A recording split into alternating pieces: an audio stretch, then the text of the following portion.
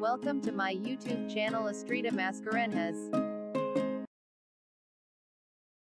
First update and open your Instagram app. Search for my Instagram account. Add your stickers by Astrida. And open the Add Yours 28 story highlight. Click on this Add Yours sticker and then on Layout option. Now add for of your photos. And type 4 of your nicknames. And place each name sides each photo. Adjust your sticker. Send it to your story.